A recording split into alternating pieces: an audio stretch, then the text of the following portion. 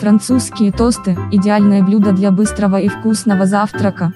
Тосты можно приготовить из любой белой булки, халвы, белого ферментного хлеба. Для аромата добавим немного корицы. Попробуйте. Французские тосты могут составить серьезную конкуренцию блинчикам, только готовить их гораздо проще, обмакните тосты в яично-молочную смесь, обжарьте на сливочном масле и готово. Наслаждайтесь. Сколько и какие продукты понадобятся, узнают те, кто досмотрит до конца. 1. В высокую миску влейте молоко, вбейте яйца и всыпьте корицу. 2. Взбейте яйца с молоком и корицей венчиком.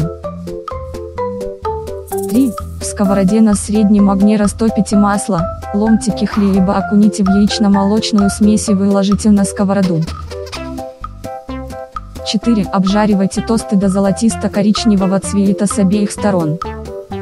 Подписавшись, не пропустите новые вкусняшки. 5. Подавайте французские тосты с сиропом, фруктами.